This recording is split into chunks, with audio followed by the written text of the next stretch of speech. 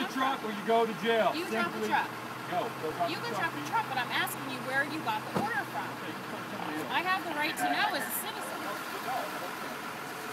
Where did you get the executive order from? I was just on the, I was just on the, I was just on the governor's website. I want to know where you got the information from. You have to have a GPS camera from the You don't. It's in the executive order. It says that it's, it's not right You have now. to move your vehicle to look at the tower. Oh, I cannot wait. I can't wait. You better get everybody else out of here too. I can't wait. Did you record this? Thank you very much.